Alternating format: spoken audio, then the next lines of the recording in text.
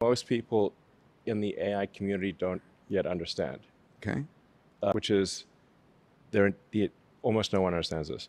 Uh, the intelligence density potential uh, is vastly greater than what we're currently experiencing.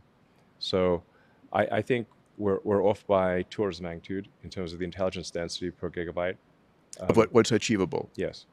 per gigawatt of energy? For, so let's transistor. characterize it by file size. Okay. Uh, if the file size of the AI, if, if you if you have a say get intelligence per oh, gigabyte, okay. You know, you know, yeah, sure. um, On your on you your can premise on in, your in- in laptop. right? power too, but it's, Yeah. it's Or it parameter runs the same thing. Yeah. whatever. Um, so So two two orders of magnitude. yes, Yeah. And you, like you said, you ringside, courtside seat, you would know. I'd say it's it's it's uh, two, yes Yeah. towards magnitude improvement in. Uh, that's just just algorithmic improvement. Same computer, and the computers are getting better. Yeah.